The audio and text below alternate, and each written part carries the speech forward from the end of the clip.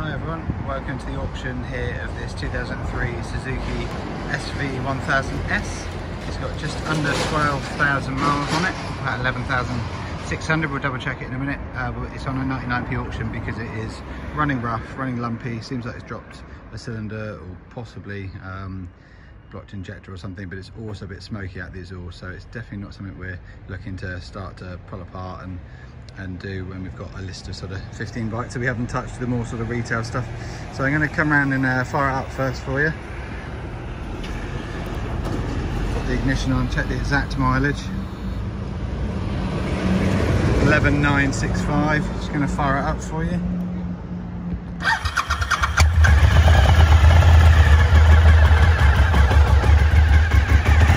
Just holding a bit of throttle here because it doesn't want to tip over very well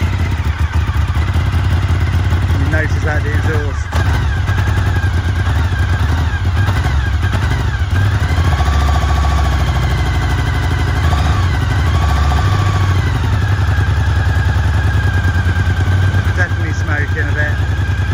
Has been stood a bit. The person who traded it into us hadn't used it for a long time. I mean, I genuinely don't know if I know might even have diesel in it. It just not running freely. We road tested it and it didn't clear itself. Um, and if I let the throttle go there, you see it, it cuts out. So something mechanical, um, 11,965 miles. And that's genuinely all we know about it. Uh, it's original panels and paintwork. It's actually quite a clean bike to be fair. There are some scuffs on it.